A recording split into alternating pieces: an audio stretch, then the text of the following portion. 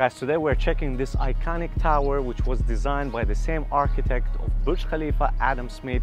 I'm super excited to check this stunning building. Let's go.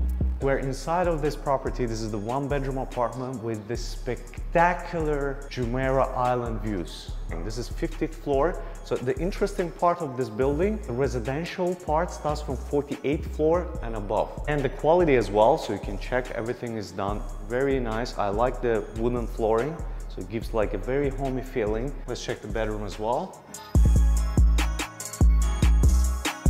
Building is 95% ready and will be completed by September or October. Payment plan is 20% you pay now and 80% on handover. So you can actually use the mortgage as well.